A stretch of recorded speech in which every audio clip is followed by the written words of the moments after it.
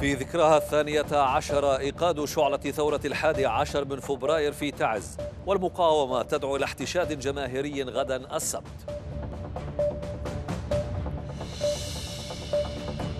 تعهدات شعبية وسياسية في ذكرى الثورة بمواصلة الكفاح لإسقاط الانقلاب الحوثي وإفشال مخططه الكهنوتي.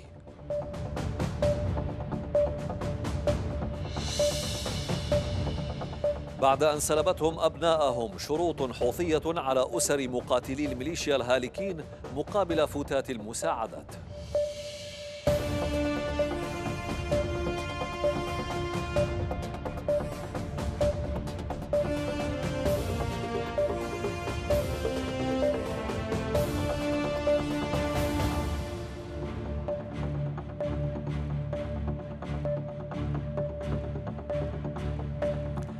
نشرة التاسعة من يمن شباب أهلا بكم والبداية من تعز. حيث شهدت المدينة مساء اليوم إيقاد شعلة ثورة الحادي عشر من فبراير في الذكرى الثانية عشرة للثورة. وجرت مراسيم إيقاد الشعلة في شارع جمال عبد الناصر بمدينة تعز وسط حضور شعبي واسع ومشاركة عدد من قيادات السلطة المحلية وقيادات عسكرية وأمنية. وجدد المشاركون في الفعالية التأكيد على عزم اليمنيين وإرادتهم الصلبة في مناهضة العدوان الحوثي وإسقاط مخططه العنصري واستمرار الكفاح الشعبي في مواجهة ميليشيا الحوثي الإرهابية ذراع الاحتلال الإيراني وانقلابها المشؤوم وإشعالها الحرب على اليمن ومحيطه العربي.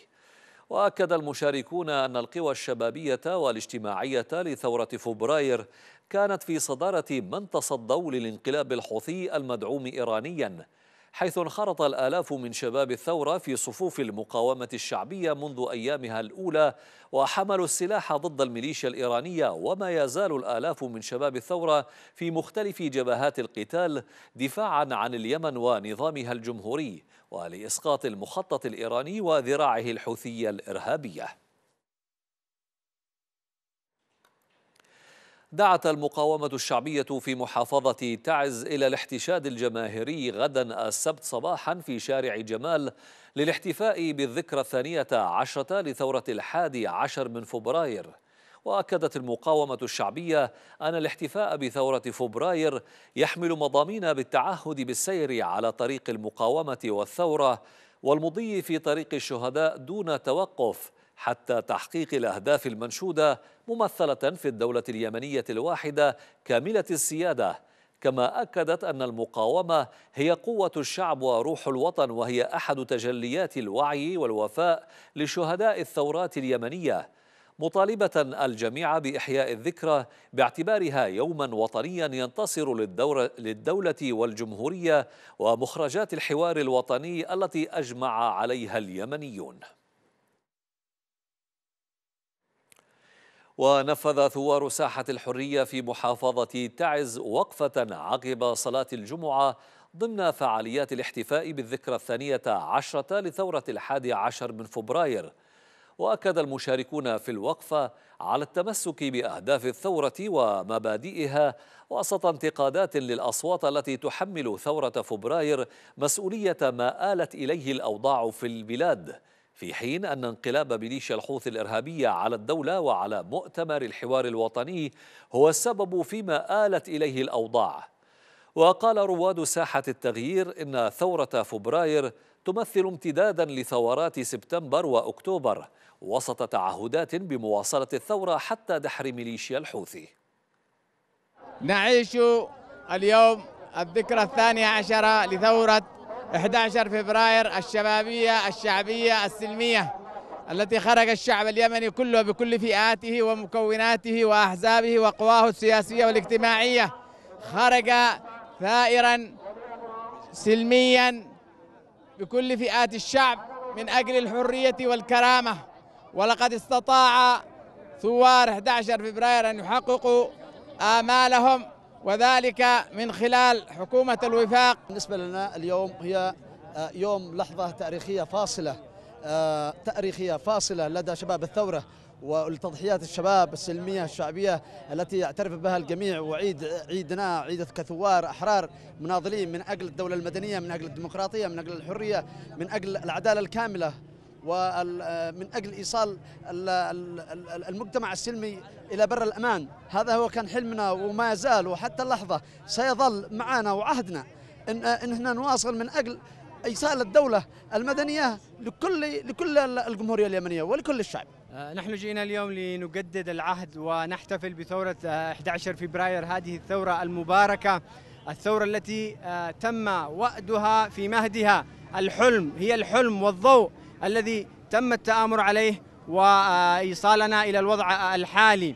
هناك من يريد أن يحمل هذه الثورة ما لا تحتمل لكن لا للثورة دخل فيما يحصل. ثورة 11 فبراير هي امتداد لثورتي 26 سبتمبر و14 أكتوبر. من لا يعترف ويحتفل بثورة 11 فبراير لا أظنه يعترف ويحتفل بثورتي 26 سبتمبر و14 أكتوبر. وفي محافظة الضالع قال عدد من شباب الثورة في مديرية قعطبة إن جدوى ثورة الشباب السلمية لا زالت في قلوب وعقول الأجيال وستظل خالدة في ذاكرة التاريخ. وأكدوا في تصريحات ليمن شباب أن ثورة الشباب السلمية كسرت حاجز الخوف وشجعت المجتمع على المطالبة بحقوقه مؤكدين أن فبراير يمثل المخرج العادل للبلاد. الحل هو كما قلنا هو الدولة المدنية اللي تمثل جميع أطياف الشعب بدون استثناء بدون إقصاء بدون تهميش بدون استكبار بدون تنمر. لأنه عانينا من التنمر سنوات طويلة والآن عاد التنمر بس بصورة أخرى. فنحن نرجو ونتمنى أن يتم التوصل إلى حل سلمي وإلى يعني إلى دولة أو حكومة تمثل جميع أطياف الشعب وتمثل رؤية الشباب يعني لتحقيق يمن ومستقل متطور متقدم كما كنا نطمح عليه. تعني لنا بالنسبة للشباب ثورة 11 فبراير ثورة المجد ثورة الخلود ثورة الحرية ظلت هذه الثورة وما ستظل وستظل مستمرة. ولقد كسرت عنهجية الظلم وكسرت عنهجية الذين حاولوا الالتفاف عليها ولكنها ستظل مستمرة حتى تحقيق أهدافها رغم الالتفاف عليها ومحاولة اختراقها ولكنها ستظل حتى تبني الدولة المدنية. نحن نعيش في ذكرى الثورة السلمية التي خرج من أجلها الشباب خرجوا خروج سلمي و... وستظل أهدافها سلمية حتى تحقق مطالبها إلى بعد حين. كما بدأت فعاليات ثقافية وفنية احتفاء بالذكرى السنوية الثانية عشرة لثورة الحادي عشر من فبراير المجيدة ينظمها مجلس شباب الثورة. واحتضنت ساحة الحرية بتعز أولى فعاليات الثورة في وقفة شارك فيها الآلاف متعهدين بمواصلة المسار الثوري والنضالي حتى تحقيق تطلعات اليمنيين في إنهاء انقلاب ميليشيا الحوثي الإرهابية. وغدا السبت سيكون شباب الثورة على موعد لتنظيم مسيرة ومهرجان جماهيري في شارع جمال وسط مدينة تعز.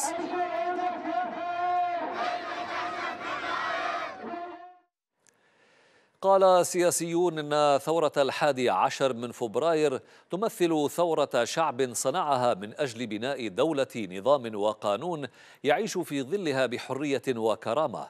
وأشاروا إلى أن الثورة لم تكن سببا في الانقلاب المسلح الذي قادته ميليشيا الحوثي الإرهابية لإفشال الحوار الوطني والذي يعد أبرز نتائج الثورة.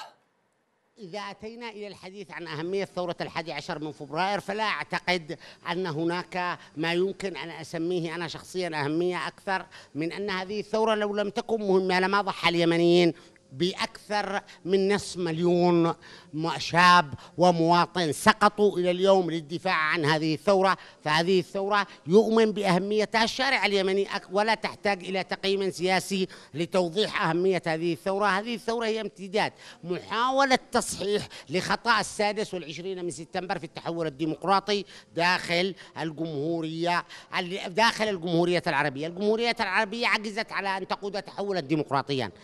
وثيقة الحوار الوطني هي أهم مكتسبات ثورة 11 فبراير في اليمن. هذه الوثيقة التي أستطاع اليمنيون جميعا بشتى مشاربهم ويافطاتهم السياسية التوافق عليها إلا أن هذه الوثيقة لم تصمد أمام آه، طموحات الجماعات التي تريد وأد النظام الجمهوري ووأد المشروع الوطني. لكن هل شباب الثورة ومن خرجوا إلى تلك الميادين في تلك اللحظة التاريخية سيقفون مكتوفي الأيدي أمام هذا المشروع الذي أتت به الجماعات الكهنوتية التي تسعى إلى سلخ هذا المجتمع اليمني من فكره ومن نظامه الجمهوري ومشروعه الوطني. الثورة التي خرجت بها شباب الشباب آه، بطريقة سلمية وطريقة حضارية ويمتلكون من الوعي الكبير في تحركاتهم اضطرت هذه الثورة إلى أن تنتقل إلى مرحلة جديدة وهي المرحلة آه، اضطرت فيها إلى حمل السلاح ومواجهة الانقلاب الحوثي الذي انقلب على العملية السياسية الانتقالية.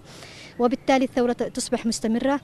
وبالتالي مخرجة الحوار الوطني كانت أهم المكتسبات السياسية ل 11 فبراير باعتبار أنه مشروع الحوار الوطني هو المشروع الذي ستبنى عليه مفهوم الدولة والعدالة والديمقراطية والدولة الاتحادية وإزالة المركزية السياسية من اليمن. أكدت ندوة سياسية أقيمت في جامعة تعز استمرار ثورة الحادي عشر من فبراير في مسارها لاستعادة الدولة وإنهاء الانقلاب الذي قادته ميليشيا الحوثي الإرهابية.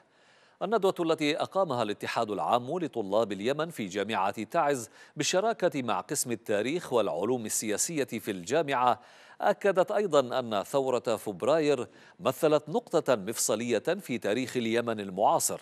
وأشارت إلى أن ثورة فبراير تمثل امتدادا طبيعيا لمسار ثورات يمنية عظيمة تلتقي حول كثير من الأهداف والتطلعات.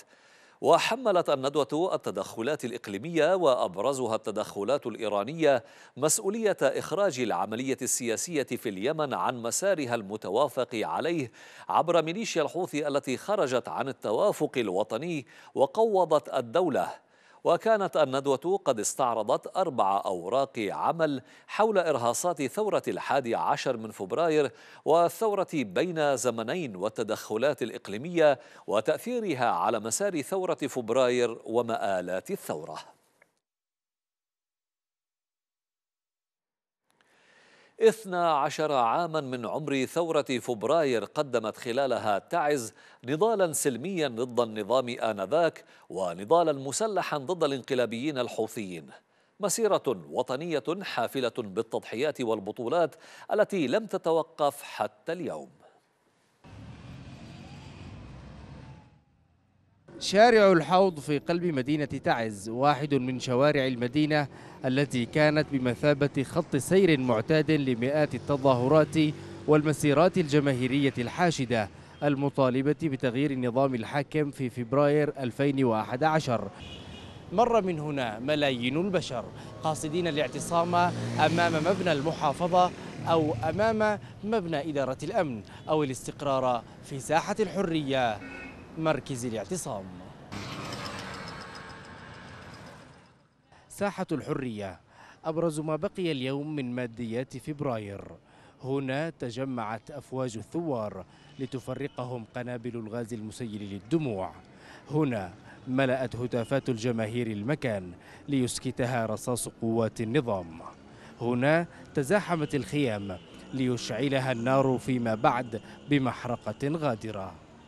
لكن الثورة استمرت وسقط النظام وبقيت الساحة موجودة حتى الآن. أراد الحوثي الحرب على حلم فبراير لفرض لونه الطائفي العنصري الأوحد بعد مؤتمر حوار شمل كل المكونات السياسية. فوقف فبراير وأبناؤه في تعز رفضا لانقلاب الميليشيا وكانت القوة مقابل القوة. تطفئ الثورة شمعتها الثانية عشرة وبين كل شمعة وأخرى انصهرت كثير من التباينات السياسية واختلطت أحداث ببعضها. وحلم الدولة المنشودة لم ينتهي لكنه يكبر مع تزايد التضحيات. أيمن قائد لقناة يمن شباب من مدينة أشرقت فيها الثورة ولم تغرب. أقام مجلس شباب الثورة بتعز عصر اليوم الجمعة حفلا فنيا وخطابيا احتفاء بالذكرى الثانية عشرة لثورة الحادي عشر من فبراير. الحفل الذي حضرته أسر الشهداء والجرحى اعتبر الإرهاصات والتحولات التي تشهدها البلاد مطبات في طريق الثورة. وخلال الحفل جدد أبناء تعز العهد بمواصلة الثورة والوفاء لدماء الشهداء. مشيرين إلى أن ثورة الحادي عشر من فبراير تتجدد باستمرار حتى تحقيق كافة الأهداف التي رفعها الشعب في العام 2011 وأهداف الثورات سبتمبر وأكتوبر وشدد الحفل على أهمية حماية الجمهورية ومكتسبات الثورات اليمنية. مشيرا إلى أن ميليشيا الحوثي الإيرانية لن تقبل بالحل وفق المرجعيات الثلاث وهو ما يجعل الحسم العسكري ضرورة ملحة لإنقاذ اليمنيين من إجرام الميليشيا. وأكد الحفل على ضرورة توحيد الصف وتكاتف كافة أطراف الثورة لتحقيق الأهداف المرجوة. نحتفل ونبتهج اليوم نحن شباب مجلس الثورة في مدينة تعز بإحياء هذه الاحتفالية في هذا المهرجان الفني والخطابي. لنجدد الولاء والوفاء والعهد والوعد لثورة 11 فبراير المجيدة نحتفل بذكراها الثانية عشر. نحن على درب الشهداء سائرون ولأجل تحقيق أهداف ثورة الشباب الشعبية السلمية ماضون. الثورة مرت بكثير من الإرهاصات وكثير من المؤامرات لكنها ستحقق أهدافها لأن الذي خرج لأجلها هو شعب عظيم حلم ببناء يمن جديد. علينا إعادة تقييم أنفسنا وتقييم المشهد وعلينا مزيدا من الترابط. لقد كانت الفترة في عام 2011 ألقت بظلالها. علينا جميعا فتجاوزتم أنتم نخب البلد التي كانت قائمة والتي تسعى إلى إصلاحات تحفظ مصالح ضيقة فلم تستطع مع الأسف الشديد الثورات العربية في الخمسينات والستينات والسبعينات أن تصل إلى تحقيق واحد من أهم أهدافها وهي التحول الديمقراطي. هذا التحول تأخر كثيراً تأخر كثيرا مما أدى في بعض البلدان إلى تحول قوى من القوى الثورية في الستينات والخمسينات إلى قوى استبداد. أعلنت السفارة اليمنية في أنقرة عن ارتفاع عدد اليمنيين المفقودين جراء الزلزال الذي ضرب تركيا فجر الاثنين. وقالت السفارة اليمنية في بيان أمس الخميس إن عدد المفقودين من اليمنيين ارتفع إلى تسعة أشخاص سبعة منهم في ولاية هاتاي وثامن في مالاتيا وآخر غير معروف مكانه حتى الآن. وذكرت السفارة أنه تم التواصل مع زوجة أحد المفقودين الناجية من الزلزال والاطمئنان على صحة طفلتها المولودة أثناء عملية الإنقاذ في وقت يجري فيه ترتيب خروجها من المستشفى. وأشارت إلى أن عملية التنسيق مستمرة مع الجهات المعنية التركية لمتابعة كافة المفقودين جراء الزلزال. ودعا سفير اليمن في تركيا محمد صالح طريق رجال الأعمال اليمنيين المقيمين في تركيا لتسيير قافلة مساعدات للمتضررين من المواطنين الأتراك والسوريين في المناطق المنكوبة ومساندة الشعبين على تخطي الظروف الأليمة. وقال السفير إن الوقت حان لرد الجميل لتركيا التي وقفت وما زالت تقف بجانب اليمن واليمنيين على كافة المستويات ودعم المتضررين من إخواننا السوريين. جاء ذلك خلال لقاء جمع السفير يوم الخميس بعدد من وجهاء وأعيان ورجال أعمال الجالية اليمنية في تركيا لمناقشة مستجدات أوضاع اليمنيين في المناطق المنكوبة. وحث السفير طريق على توحيد الجهود لتسهيل تسيير أعمال الدعم والإغاثة للمتضررين من الزلزال والذي ضرب عدة ولايات جنوب ووسط تركيا وتوفير الدعم اللازم لإخوانهم ومساندتهم في الظروف الاستثنائية. وأكد حرص السفارة على متابعة كافة المستجدات من خلال لجنة الطوارئ وغرفة العمليات الخاصة التي شكلتها السفارة للتعامل مع هذا الحدث الأليم.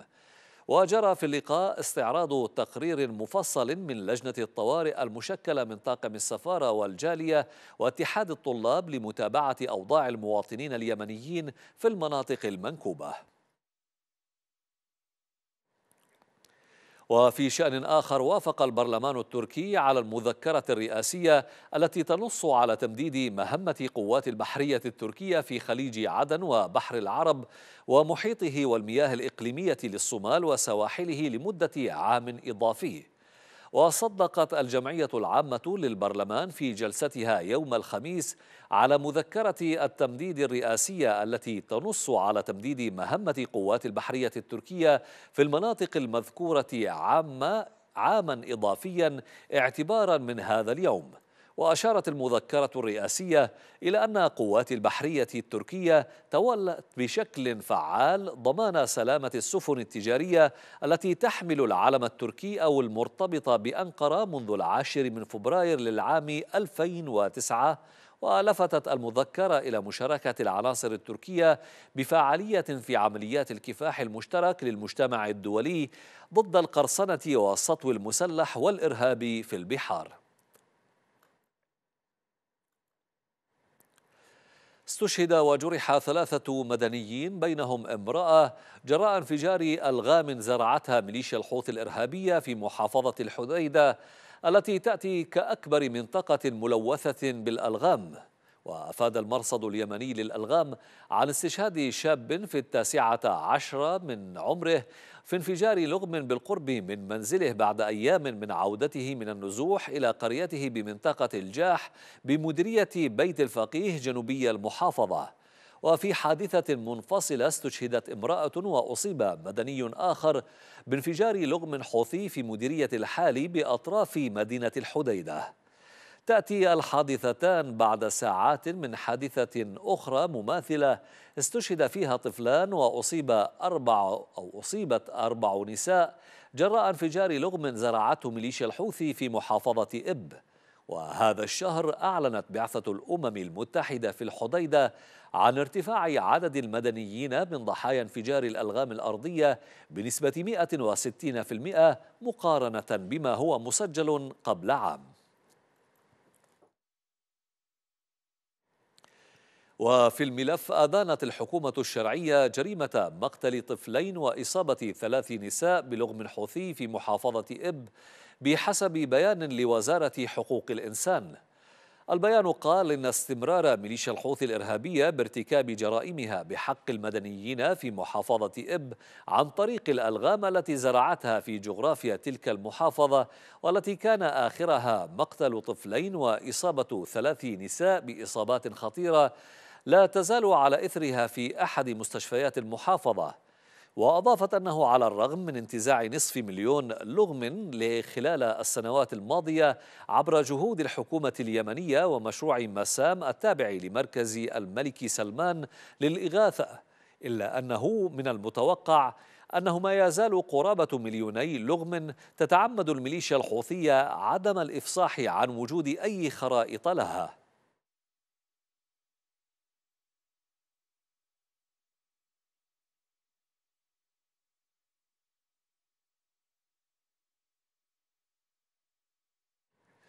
كما استنكرت وزارة حقوق الإنسان النازعة الإجرامية لميليشيا الحوثي وسعيها المتواصل إلى قتل وإبادة أكبر عدد من اليمنيين. وقال بيان الوزارة إنها تتلقى يوما بعد يوم رصدا لحوادث مؤلمة ضحيتها أطفال ونساء ومواطنون من مختلف الأعمار. جراء الألغام التي تزرعها الميليشيا الحوثية الإرهابية في كل مكان وصلت إليه. وذلك في عمل إجرامي متعمد لإيقاع أكبر قدر من الضحايا المدنيين. وأفادت الوزارة عن سقوط عشرين ضحية مدنية نصفهم من الأطفال في حوادث انفجارات بالألغام ومخلفات الحرب في عدد من المحافظات اليمنية منذ مطلع فبراير الجاري. وحملت الوزارة ميليشيا الحوثي الإرهابية المسؤولية الكاملة عن تلك الجرائم. وطالبت المجتمع الدولي والأمم المتحدة ومجلس الأمن الدولي بتحمل مسؤولية حماية المدنيين واتخاذ الإجراءات العقابية الرادعة ضد ميليشيا الحوثي الإجرامية والضغط عليها لتسليم خرائط الألغام. طالبت الحكومة الشرعية بقائمة سوداء تضم قيادات ميليشيا الحوثي الإرهابية المتورطة في تجنيد الأطفال وقال وزير الإعلام والثقافة والسياحة معمر الإرياني إن تحويل ميليشيا الحوثي المدارس في المناطق الخاضعة لسيطرتها إلى معسكرات قتالية يمثل جريمة حرب وجريمة ضد الإنسانية. وأشار إلى أن الميليشيا حولت فصول الدراسة إلى قاعات لتدريب الأطفال على تفكيك واستخدام الأسلحة الخفيفة والمتوسطة ثم تسوقهم للموت في جبهات القتال في أكبر جريمة ترتكبها بحق التعليم والطفولة في اليمن. وقال الإرياني إن هذه الممارسات الإجرامية تعيد إلى الأذهان مشاهد تدريب عناصر التنظيمات الإرهابية داعش والقاعدة للأطفال على استخدام الأسلحة في معسكرات خاصة.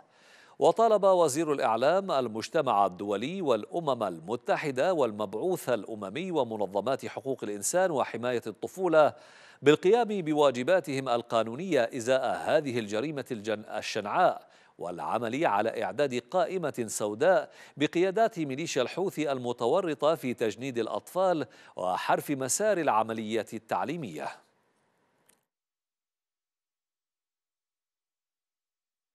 في صنعاء كشفت مصادر مطلعة عن فرض ميليشيا الحوثي الإرهابية شروطا على أسر قتلاها من أجل استمرار دفع المخصصات المالية والغذائية التي كانت تدفع لها.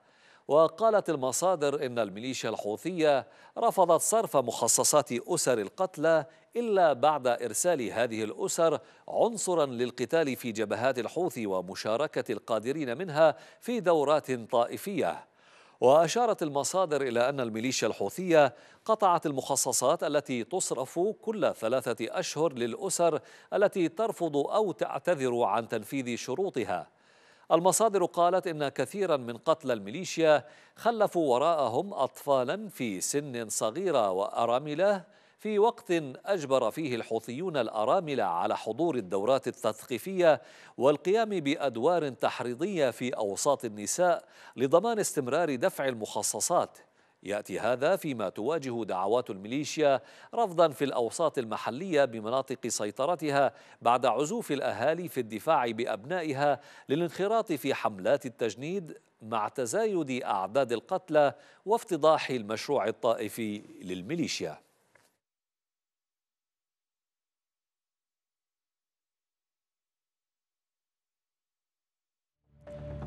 ختام التاسعة هذا تذكير بأبرز ما جاء فيها. في ذكراها الثانية عشرة إيقاد شعلة ثورة الحادي عشر من فبراير في تعز والمقاومة تدعو إلى احتشاد جماهيري غدا السبت. تعهدات شعبية وسياسية في ذكرى الثورة بمواصلة الكفاح لإسقاط الانقلاب الحوثي وإفشال مخططه الكهنوتي. بعد أن سلبتهم أبناءهم شروط حوثية على أسر مقاتلي الميليشيا الهالكين مقابل فتات المساعدات. دمتم ودام اليمن بألف خير إلى اللقاء.